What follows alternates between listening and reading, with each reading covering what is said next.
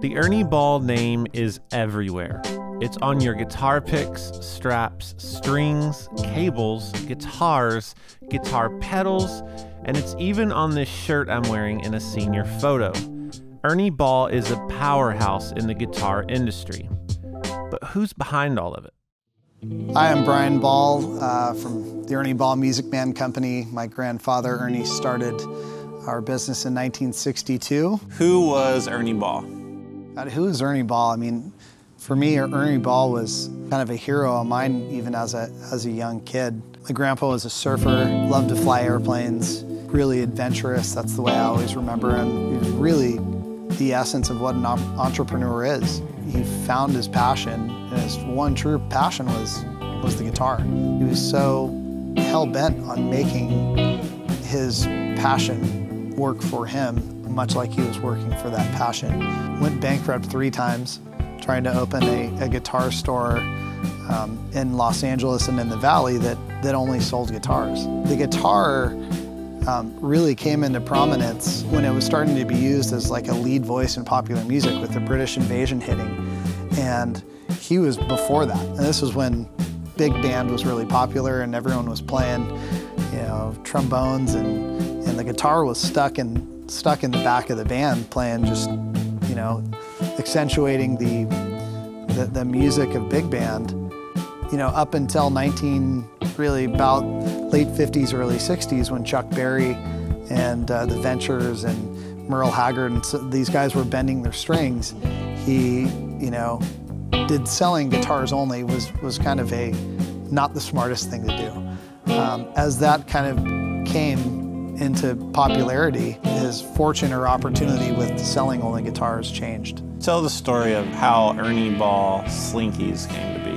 Ernie Ball Slinkies were really founded out of the birth of, of rock and roll. I mean, our, our family and our company's roots are so entrenched in Southern California and, and the rock and roll scene that started to erupt here in, in, in the States, um, due in large part to the British invasion.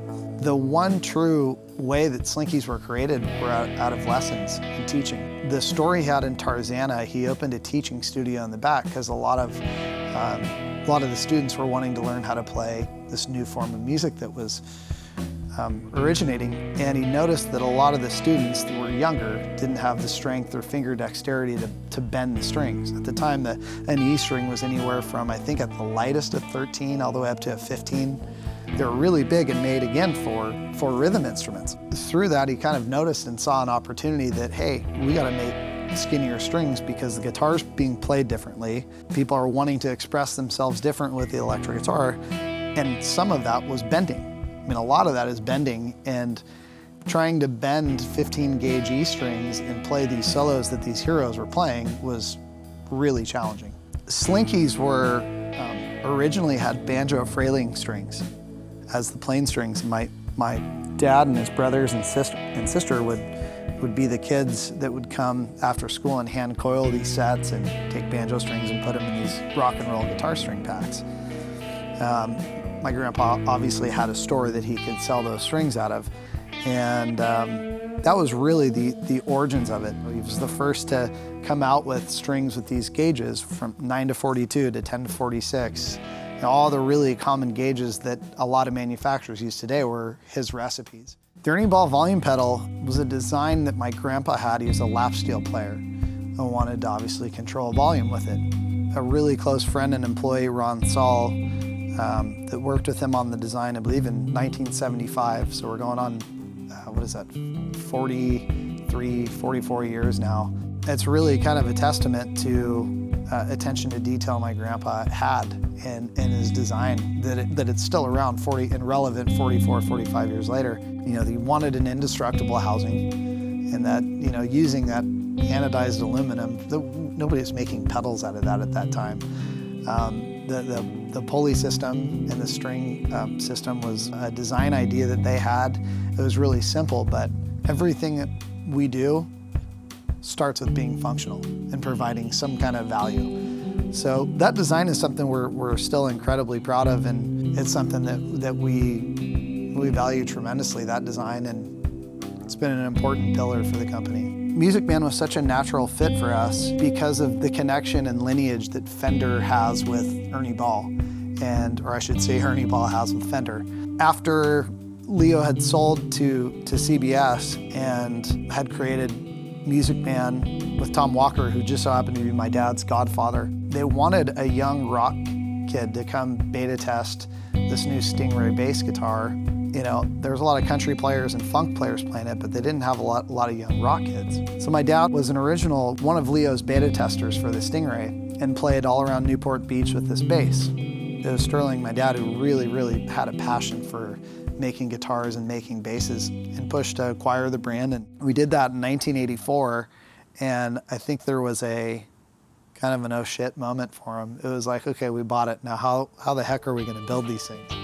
But there's been so many highlights of Music Man um, from the, the 90s when we signed Eddie Van Halen, and that was another oh shit moment. How are we going to scale to meet demand for Van Halen with, you know, the For Unlawful Carnal Knowledge record out, and that record just was insane and blew up. And it was such an electric time for the brand. Know, Slinkies were on fire and the brand was, was really strong on the string side of things, but now, now we were a real player on the guitar side of things. It wasn't just, just the Stingray bass.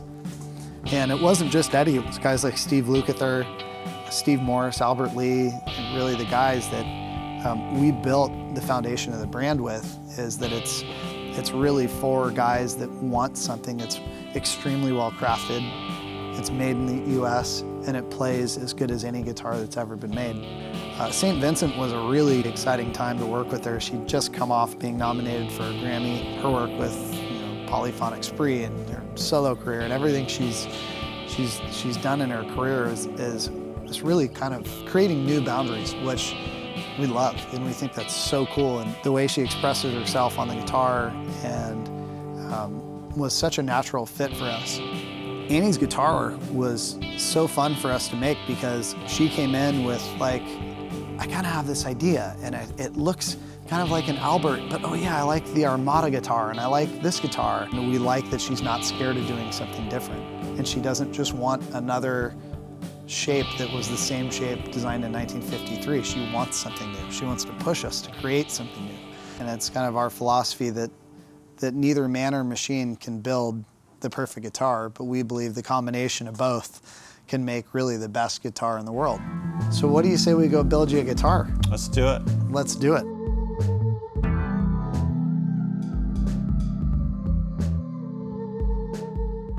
As Brian walked me through the factory to choose the different pieces for my guitar, I couldn't help but think about the amazing history of this company. Ernie Ball has embraced the new, but has always kept a deep value for its standards and the family history. Even with all the machines and amazing robots, this place still feels very human. It embodies the attitude of Ernie's adventurous spirit and his push to constantly innovate.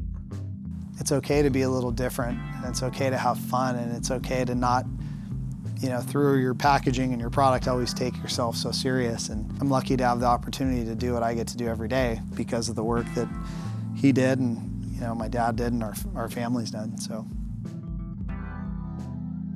Thanks so much for watching this episode. I want to give a huge shout out to Brian and the entire Ernie Ball family. They made us feel very welcome and it was an incredible experience to tour the Guitar Factory and get to know them a little bit better. It's a few weeks later now as I sit here and the guitar has arrived. It is amazing. It's everything we wanted it to be and I'm super excited to start playing it in some of the videos in the future. Speaking of that, next week I will use this exclusively on an episode where I'm gonna play some classic distortion pedals, so you need to come and check that episode out. Hit like if you like this episode, subscribe to the channel, and also hit the bell icon and you'll get notifications of future episodes. And before you go, put in those comments what Ernie Ball products you own and products that you would like to own in the future. I'd love to read through that and kind of compare our notes. Have a wonderful day.